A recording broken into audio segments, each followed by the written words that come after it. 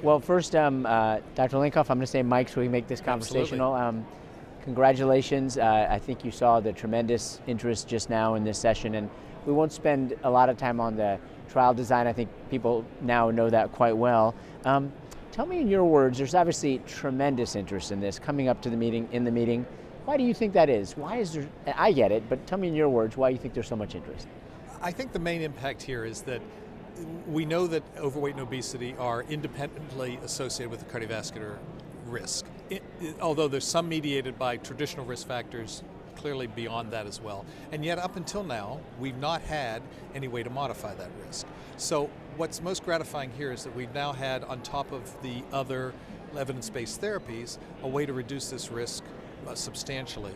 And so, to now overweight and obesity becomes another pathway that we can modify risk. It's a it's a modifiable risk factor, and I think that's the most most gratifying is we're actually adding a new pathway.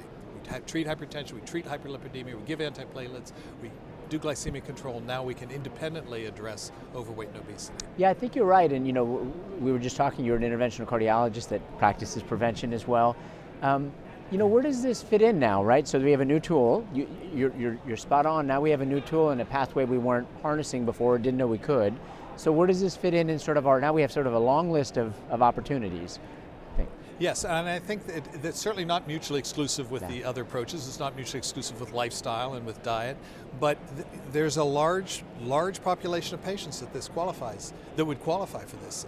Estimates vary, but as as one of the comment uh, Anya pointed out, there's 70% of people who have stable ischemic heart disease don't have diabetes. Yeah. And a, a, substantial proportion of those have overweight or obesity.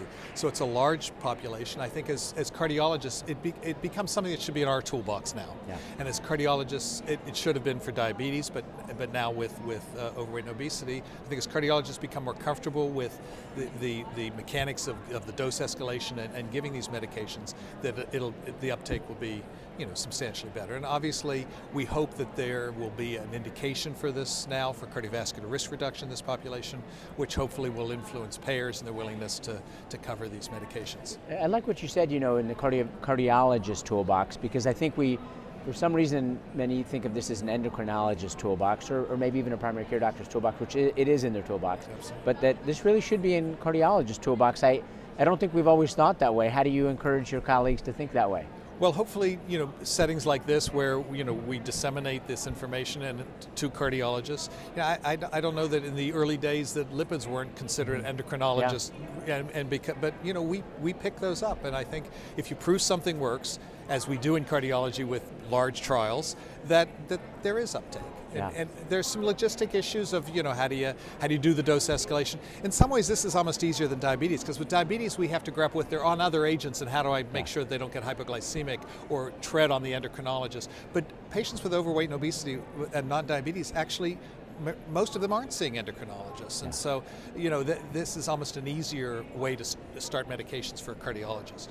Well, you and I were talking before this because everyone keeps asking this, so we might as well bring it up, which yes. is you know, to what extent do we know about the weight loss contribution here? And you're telling me about some of the challenges of trying to disentangle that. Yes. So we'd love to be able to say, you know, is weight me- the mechanism? I, we, I don't think it's all weight, but certainly at least the process of weight, but it's also how the weight is lost. But doing these analyses, which we will do, it's a rich database, there's a lot of enthusiasm, but doing these analyses, they're post-randomization analyses, they're very difficult. You know, there's, there's the issue of responder, you know, who, who, who lost the most weight, uh, and, and if they didn't, what, you know, what may be different. Uh, many of these events, uh, the, the maximum weight loss was 65 weeks, and yet we had a lot of events before 65 weeks. So how do you how do you deal with that? Yeah, and it, it's so. it, with a single trial, it's very difficult. You know, the cholesterol uh, therapy trialists collaborative, they had what they had is was sort of the instrument variable of different trials that used different agents and had different degrees of LDL reduction. So that was able to show that's the way you can show a, a sort of a meta regression that that there is a relationship. Within a single trial, it's much more difficult. We will try, but in the end, this isn't a weight loss. Uh, it's a weight management um, um, intervention, but it, it's not necessarily the weight loss that translates to the cardiovascular benefit. Well, you know, you brought up another point that one is as we get more data, you know, as we get more studies, we can meta regress and learn more. But you know, as of today, I think this came up today, which I, I didn't ask the question, but you know, people are going to ask: Is this a class effect or is this semaglutide? This is the this is where we have the CV outcomes data for non-diabetics. How should we think about that? I, you know, I think we should go where the data is. We have this trial that shows it. Is it a class effect? It may or may not be. Certainly semaglutide of the pure GLP-1s is the most potent in terms of weight loss and, and diabetes. So, you know, how much effect you'd have on with the other uh, uh, pure GLP-1s, we don't know. Now, obviously, they're the combination multiple uh, receptor drugs that are under development, and, and but we don't know until a cardiovascular outcome trial is shown for these other drugs uh, and the, and the, dual pathways or the triple pathways, whether or not those, those are effective. So I think certainly when there's only one drug of a class that's yeah. shown to have an effect, maybe if you have multiple, you can begin to say that. But I don't think we can regard this as a class effect. We should go where the data is. That's why we do large scale trials. So this is going to obviously we, we you've presented the data now. Now this is a I think a standard therapy option. So now comes the implementation side. So uh, these drugs aren't covered broadly for many uh, uh, individuals. The cost is going to be substantial. So tell us a little bit about what your thoughts about how we think about implementation. How do we make this more accessible, and what's next? Well, I would hope in part it would follow the data as well without being repetitious. Uh, you know, as with uh, for the, in the setting of type 2 diabetes, these drugs moved from indicated for glycemic control to indicated for cardiovascular outcomes. And although there's still some barriers to patients being covered for these drugs, it, they are covered in, in much more uh, frequently. And I, I, would hope that it would be the same thing. I, I, would imagine that these data would be sufficient for the FDA to, to provide a, a, a label now for cardiovascular risk protect, protection.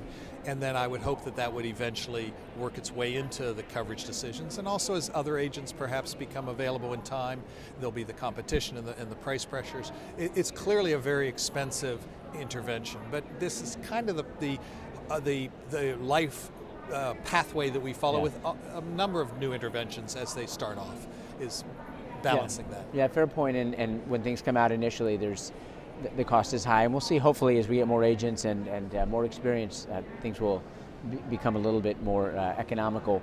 So, um, last point I'll mention uh, you know, as a trialist, you start years in advance. You're, you're, you're brainstorming the study and you're kind of anticipating where the world will be when it finishes. And COVID happened, you had to go through that for enrollment. And despite all that, you had an incredible trial that, as we said, is, is impactful in the sense that it is practice changing. So you get the last word on what is it you hope people take from you. You spent all this time, you did all this work. What do you hope that comes out of this study? I, I, I would hope that the, the healthcare professionals who take care of these patients would now look at this as this is not a, we're not changing what they see on their scale. We're, we're not changing a cosmetic appearance. This is now, we're, we now have a new tool. Uh, to not being repetitious, a new tool that we can, a new, new, a new risk factor that we can modify, and I, and I would hope that we would be looking to, to uh, offer these therapies to these patients. Congratulations to you and your uh, co-investigators. Thank, Thank, you for joining us today.